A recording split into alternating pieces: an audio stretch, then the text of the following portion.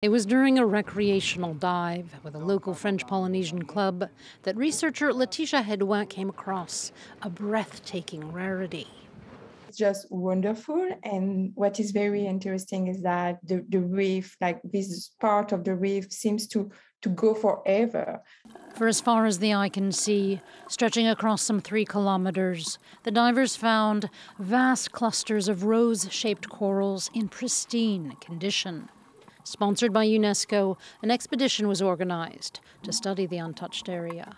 Unlike most known reefs, which are located in shallow water and are highly vulnerable to climate change and overfishing, this reef is in what scientists call the twilight zone, or an area between 30 and 70 meters deep.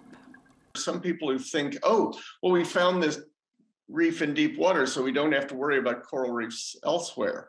No, it's it's going to be subject to some of the same threats, and it's also different.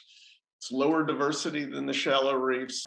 Coral reefs are an essential living habitat for marine life, and this one is thought to be around 25 years old.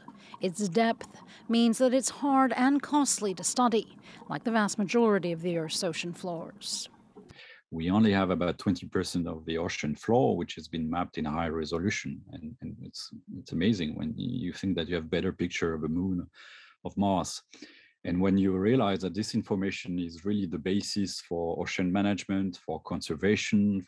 Divers believe that the recent volcano in Tonga has not affected the reef, but its discovery is a reminder of the breathtaking wonders that lie below.